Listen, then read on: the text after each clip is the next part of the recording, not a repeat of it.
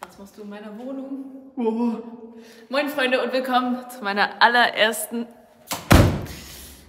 Roomtour richtigen Roomtour, wo alle natürlich drauf gewartet haben. Ja, viele haben schon gefragt, wo bleibt die Roomtour? Es ist jetzt der 11. Dezember. Es ist nicht der 11. Dezember. Es ist der 8. Dezember. Es ist ein wunderschöner Freitag und da dachte ich mir, es wurde freitags Putz gemacht mit Mutti. Grüße gehen raus. Und ja, deswegen äh, kommt heute die Roomtour. Und hinter der Kamera ist Alex. Äh, danke fürs Hallo. Filmen. So, und jetzt müssen wir natürlich zur Garderobe. Das ist hier schon das erste It-Piece, meine Freunde. Hier habe ich so meine ganzen Schuhe. Boah.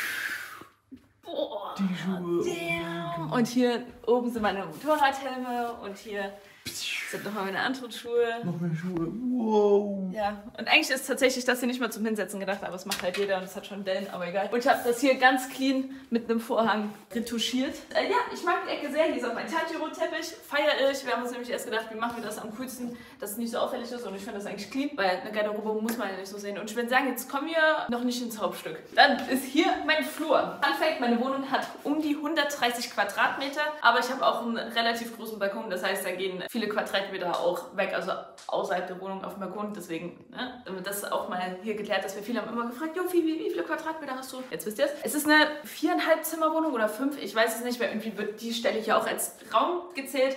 Und das hier ist auch noch nicht fertig. Also hier möchte ich für ein Bingo meiner, meinem Kater so ein Katzenparadies, wo der so überall hinklettern kann, so ein bisschen komplett die Runde hier rummachen. Falls ihr mir hier schon seht, habe ich hier auch ein Katzenrad. Warte, Bingo!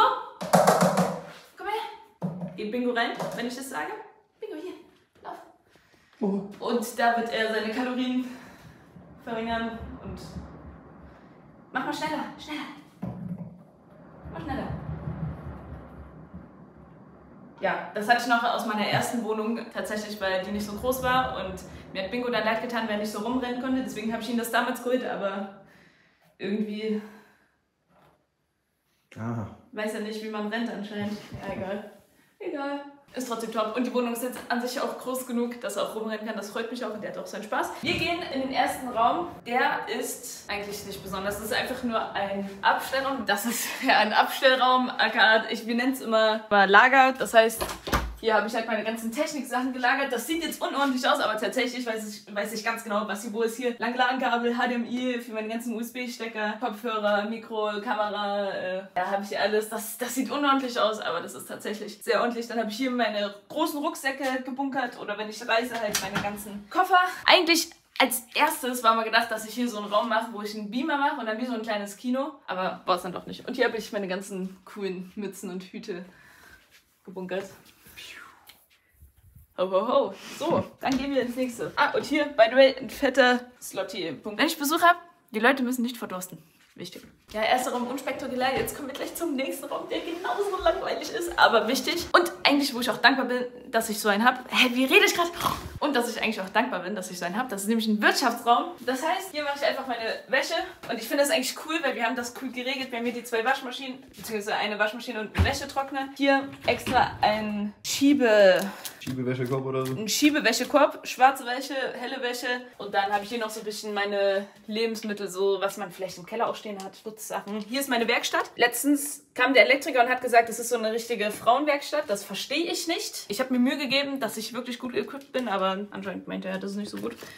Meine Putzsachen hat ja alles seinen Platz. Darauf haben wir Wert gelegt. Tatsächlich benutze ich diesen Raum nicht so oft, denn das macht meine Mutter. Ich lebe zwar alleine, aber meine Mom ist, äh, ja, vielleicht die Putzfee hier. So, wir gehen jetzt ins nächste unspektakuläre Zimmer, aber dennoch schöner, denn das ist mein Gästeklo und ich habe das erst letztens frisch und neu gemacht.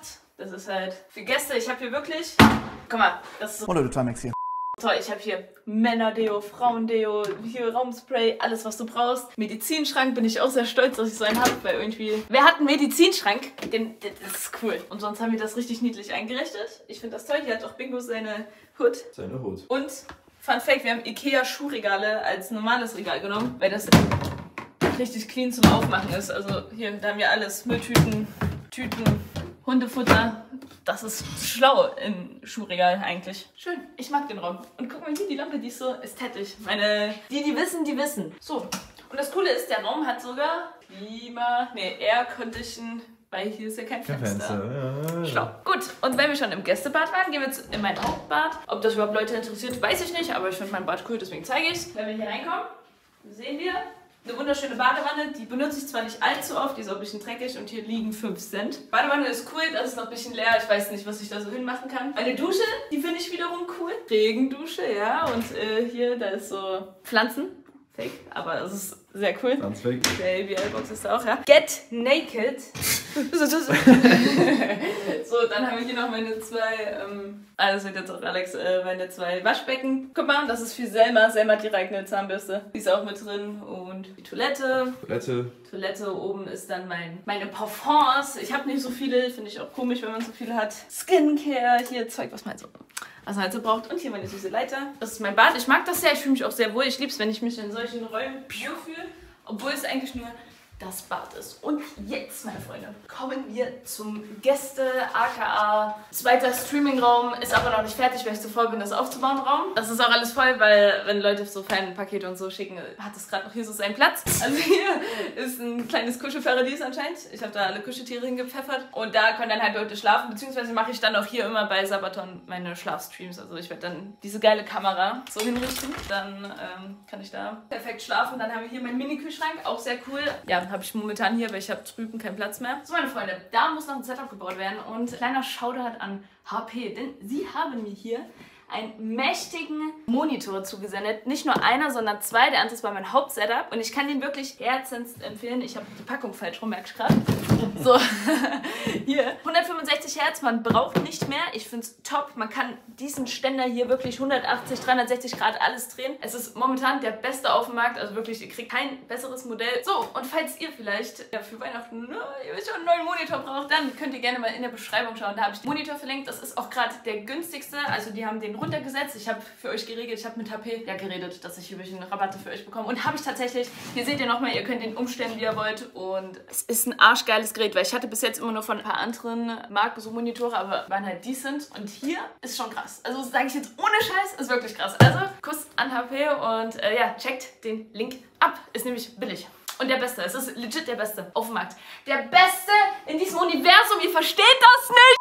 Zack, wir gehen in den nächsten Raum. So, den Raum kennt ihr wahrscheinlich schon von meiner ersten, von meinem einen Vlog, wo ich in Ikea war, wegen meinem Schlafzimmer. Aber da hat sich auch noch mal einiges getan. Liebe ich auch. Slay. Habe ich auch alles extra heute aufgeräumt. Hier mein wunderschöner Schminkspiegel. Ich liebe ihn immer noch wie an Tag 1. Habe ich Oh my god, bro. Oh, hell no, man. What the sogar heute. Bitte, guck mal.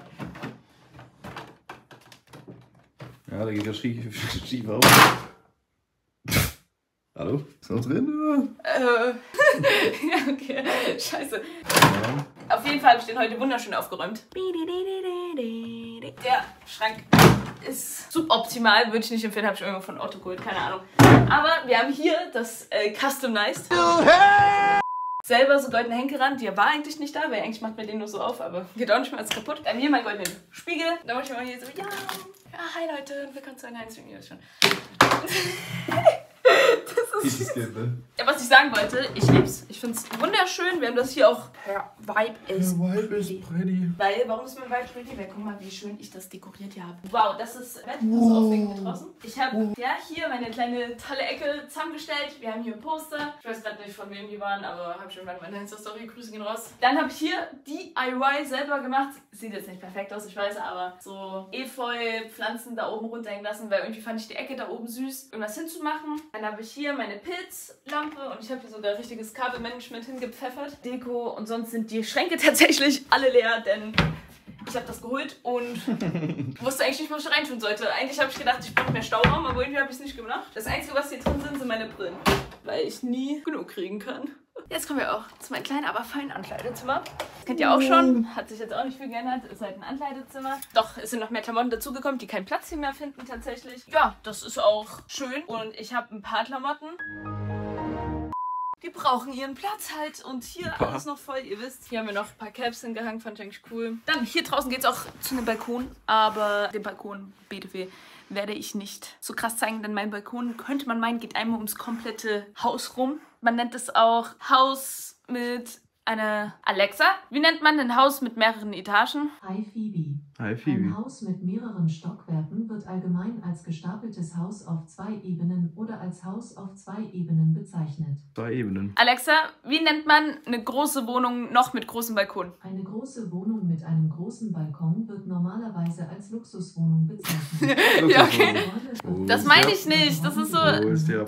Ja, das meine ich nicht. Auf jeden Fall liebe ich das auch hier, aber ich kann es euch nicht in Detail sagen. Aber ich, komm mit, wir gehen nochmal beim Sinn. Und hier haben wir, by the way, meinen wunderschönen Nachtschrank. Ich liebe den. Der sieht so edel aus. Eine Marmorplatte oben drauf. So ein geiles Produkt. Gut, wir gehen weiter. Jetzt, meine Freunde, kommen wir tatsächlich schon zum Hauptstück. So, wir sehen jetzt hier Bingo in der freien Natur. Man denkt sich jetzt, warum sitzt dieser Kater so? Wir können es ganz einfach klären, denn da ist eine Stinkwanze. Und diese Stinkwanze wird von ihnen beobachtet. In den meisten Fällen schlägt er sie tot, aber Stinkwanzen stinken extrem wenn sie platt sind. Deswegen nehme ich sie tatsächlich auch nicht, sondern Bingo. Wir nehmen die gute DM-Schokolade. Du läufst da jetzt drauf. Gut, wir haben sie, wir haben sie. Geh weg! Geh weg!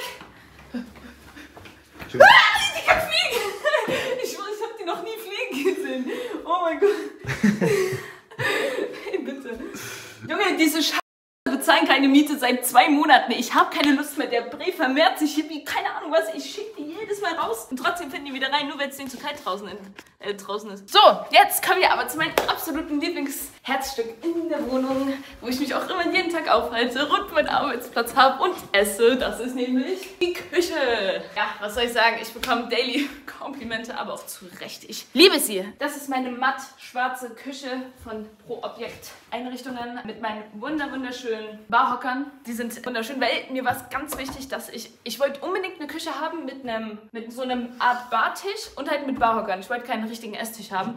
Und mir war es so wichtig, dass ich dann wenigstens Barhocker habe, die auch bequem sind, weil ich glaube, viele kennen das. Man setzt sich auf diesen Barhocker Du hast, entweder sitzt du so da oder du krachst was um, weil das Ding nicht richtig hält. Aber hier, die sind so super. Ich liebe es auch mit diesen goldenen Akzenten, mit den goldenen Beinen. Finde ich wunder wunderschön. Dann habe ich hier oben auf der Küche meine ganzen Anime-Figuren hingestellt. Fand ich irgendwie geil. Ist so ein Vibe, weil das, die Küche ist ja gleichzeitig offen zu meinem Setup. Das seht ihr dann auch gleich nochmal. Und ja, sonst habe ich hier ein bisschen Gläsermeser hier so ein bisschen. Mal, wir können mal reingucken, was ich so hab. Mütze, Mütze. Und hier, Shoutouts gehen raus an alle deutsche äh, Mütter. Kriegt ihr irgendwie ein. Was ist, wenn ihr das seht? Also, das ist halt. Ich habe wirklich, ihr müsst mal überlegen, ein Glasschrank, der wunderschön von außen aussieht, wird gefüllt mit nur Tupperdosen. War das meine Idee? Nein. Aber naja, dann Bingo geht auch gerade schon zu seinen Essensplatz. Da hat er nämlich einen Futterautomat. Richtig cool, der geht immer automatisch. Bingo ist da oben, weil ich habe ja auch noch einen Max, mein Hund. Und wenn das Essen von ihm unten ist, dann ist das Max weg. Deswegen müssen wir ihn ein bisschen hochtrapieren. Diese Lichterkette da oben geht auch abends immer an, aber es ist noch nicht so spät. Hier habe ich noch meine zwei Pokale von Stream Awards mit dem besten Jumpscare und die beste Newcomerin 2003. 22 oder so? Zwei, 23? keine Ahnung, ich glaube 22. 2022. Grüße gehen raus. Und ja, dann habe ich hier unten noch so ein paar Gym Red Sachen. Habe ich extra versteckt, weil immer wenn hier Leute kommen, die sneaken alles weg. Ja, und hier ist noch ein Licht für meine Costumes, weil das bleibt halt da hinten. Logisch. Dann haben wir noch meinen wunderschönen Wasserhahn. Schreibt mal jetzt in die Kommentare, falls ihr noch wisst, wie hoch erwirblich man ihn wie ich ihn erwerben konnte. Ich habe doch keine Ahnung. Ja, komm, wir zeigen es dir nochmal für die Leute, die es vielleicht nicht kennen. Das ist ein KUKA-System. Das heißt, hier unten ist so ein System, wo dann auch gleich die Kohlensäure rauskommt. Also diese Dinger halt. Und dieses Gerät, das kann nämlich Warte. Sprudelwasser. Äh, Sprudelwasser. Vorzüglich. Boah, das hat viel Sprudel. Dann, wenn man länger gedrückt hat, das ist gekühltes Wasser. Willst du jetzt die ganze Wasser trinken? oder was? Und dann, warum das eigentlich so teuer ist, glaube ich. Und das, meine lieben Freunde, ist okay. Denn Heißes damit Wasser. kann ich wirklich Nudeln innerhalb zwei Minuten kochen. Mein Tee ist perfekt. Also ich brauche kein Wasserkocher, ist übercool. Ja, dann haben wir hier noch mein Zeug. Bisschen. Wir haben äh, hier ein. Oh mein Gott, wie schräg hängt das jetzt, das Bild. Hier so Zeug, Mixer, mein Entsafter. Hier habe ich meine Kartoffeln, Knoblauch, Zwiebeln und da oben ist noch mein Here to Play Button. 100.000. Mikrowelle, Toaster. Find, Ist jetzt, finde ich, nicht so schön da, aber wir haben noch keine schlauere Variante gefunden. Und meine Kaffeemaschine. Dann habe ich hier noch meinen Kühlschrank und Leute denken, das ist zu intim, aber mir ist das egal. Hier, könnt ihr mal reingucken, was ich so habe. Ja, das war's auch schon. Wollte ich hier auch noch reinschauen. Tiefkühl. Ich habe ganz viel Spinat tatsächlich. Falls ihr Spinat braucht. Ich habe Spinat. Ich achte, by the way, sehr drauf, dass das alles ein bisschen ordentlich ist. Vor allem hier in dieser Küchenrichtung. Ihr seht auch hier, ich habe alles so ein bisschen, hat seinen Platz. Hier fehlt jetzt ein bisschen was, wenn es im Geschirrspüler ist. Da, Hello Kitty. Warum ist das dreckig? Das, hier war äh, Handwerker, wegen dem Ding. Deswegen ist es dreckig, ne? Hier, ich zeig euch jetzt einfach alles. Komm, scheiß drauf. Goldenes Besteck. Was soll der Geiz, gell? Mit dem goldenen was soll ich denn machen? Es ist doch so gut. Goldene Messer, Bingo auf der Herdplatte. Die Kommentare, Phoebe, du bist eine Tierquälerin. Was ist, wenn die Herdplatte angeht? Kindersicherung, da geht nichts an. Also der muss ein Mensch sein, wenn er weiß, dass er da 5 Sekunden draufdrücken muss und dann auf eine andere Taste nochmal 5 Sekunden. Ist in der Theorie nicht machbar, deswegen. Guck.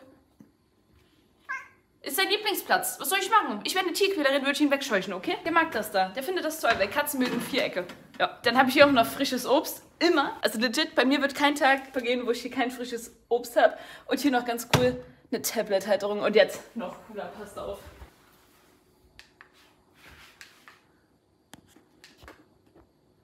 Aha. Sehr Lichtschatz. Warm, kalt. Hier, ich mach das aus. Jetzt sieht man das nochmal. Warm, Warm, kalt. kalt. Ist schon cool. Ja, die Lichter sind cool, ja. Holst ja.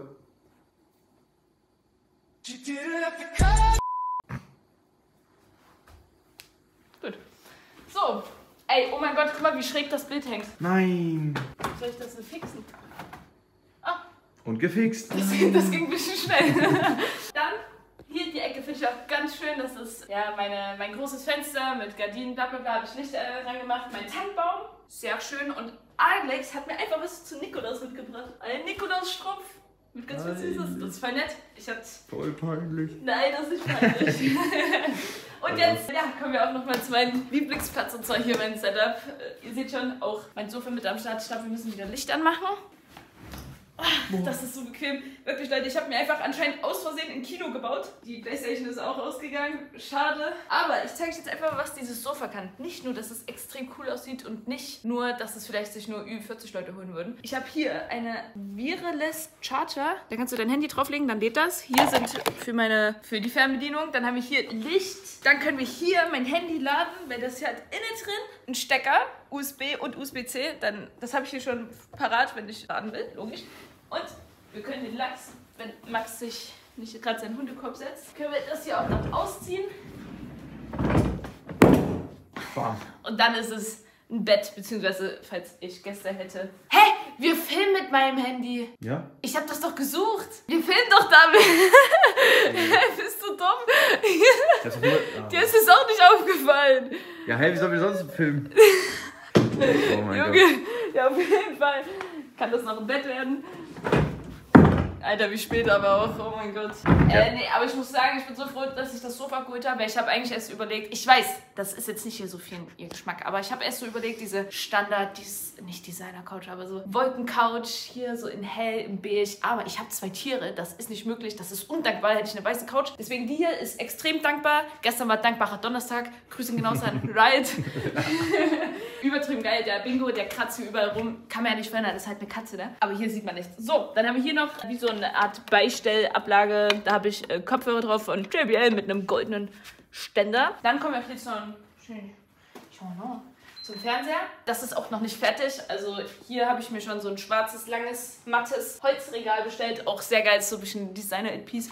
Humari, gute, gute Seite by the way zum Bestellen. Also ich habe hier auch zum Beispiel die Barhocker davon oder diesen äh, Marmortisch, mein kleiner Nachttisch. Also richtig cool. Das kommt noch, deswegen sieht das jetzt noch ein bisschen lost aus. Aber hier haben wir meinen Detektiv Conan, der zeigt immer auf mich, währenddem ich streame, weil er mich supportet mit dem Nackt... Hä? Hier haben wir dann noch Max seinen Hundekorb mit zwei Kuscheltieren, die braucht er, sonst ist er nicht glücklich. Und jetzt kommen wir schon zu meinem Schmuckstück, meinem Arbeitsplatz. Hier streame ich jeden Tag, so gut wie jeden Tag. Soll ich jetzt noch Setup zu machen? Wir machen ganz strikt. Ja, wir haben hier den HP-Monitor, by the way, der gerade für meine Kameras alle zuständig ist. Hier seht ihr schon, hier werden überall eigentlich Kameras sein. Hier sind schon zwei, drüben sind auch nochmal zwei. Die sichern immer alle hier, wenn wir streamen. Da kann ich auch richtig geile Sabatons machen. Ich kann die Kochstreams machen, easy peasy. Mischpult, Mixer, Stream Deck, Tastatur. Da hinten ist eine Switch, JBL-Kopfhörer, Noble Chair. Ja, auch ein guter, der hält auch Bingos Kratzer. sehr gut aus. Ja, so sehen meine Stühle immer aus. Aber ganz ehrlich, ich finde das nicht mal schlimm, weil das ist ein Zeichen der Liebe für Bingo, dass ich das akzeptiere und zulasse. Ja, dann habe ich hier meine Palme, mein HP Omen PC, das ist auch von HP. Reimt sich heute alles hier. Meine Keylights, hier hinten ist eine Funkstrecke tatsächlich. Das ist ganz süß, das erinnert mich immer an einen Hasen. Das ist der Empfänger und damit kann ich dann auch immer mit der Kamera rumlaufen hier in der Wohnung. Und ja, ich weiß gar nicht, was da so mehr dazu erzählen gibt. Natürlich das Kreatin immer am Setup, damit ich meine Gains behalte. Ihr versteht das doch. Ja, sonst habe ich hier noch meine kleinen Figuren, die habe ich alle aus Japan, aus dem Gamble-Automat gezückt. Die, die sind anscheinend auch immer hier, damit die mich glücklich machen, wenn ich traurig bin. Ja, ich finde es aber mega toll hier. Und jetzt würde ich sagen, wir machen einen kleinen Sneak Peek nach draußen. Das ist jetzt sehr exclusive. Man geht hier raus und das erste, was wir sehen, ist mein Hot Tub. Oh mein Gott, meine Rouladen, da sind die auch kaputt. Und ja, hier ist noch ein bisschen Gartenmöbel, aber wie gesagt, ich muss das alles ranschieben, weil es Schnee ist. Was machst du hier? Wo? Ey, haben wir überhaupt schon die coole JBL-Box gezeigt? Was ein Brette. Ja, eigentlich geht die an, aber hört man eh nicht über Video, aber gibt die. Die sieht auch cool aus. Stylisch, schmeidig. Und ja, das war's tatsächlich mit der offiziellen Roomtour 2023 von Phoebe mit ihren 17 Jahren. Ich bin auch sehr dankbar. Ich werde in, wenn ihr das Video seht, ist es vielleicht Sonntag oder so. Ich habe ein paar Tage Geburtstag, dann bin ich 18 und das ist meine zweite Wohnung und ich bin mit 16 ausgezogen. Das ist jetzt legit meine Traumwohnung. Da fehlt natürlich noch einiges, aber das ist jetzt so der Stand nach fünf, sechs Monaten. Wie lange lebe ich hier? Fünf Monaten, glaube ich. Und ja, ich freue mich mega. Ich hoffe, euch hat die Roomtour gefallen. Ich würde mich sehr über ein Like nach oben freuen. Und schreibt mir gerne eure Meinung in den Kommentaren, was ihr so davon haltet. Ich bin sehr dankbar. Und das war's soweit. Checkt unbedingt den HP-Monitor ab. Slay. Und sonst habe ich auch nichts mehr dementsprechend hinzuzufügen. Ich krieg eine Knarre an den Kopf. Right foot creep. Look around, stay low.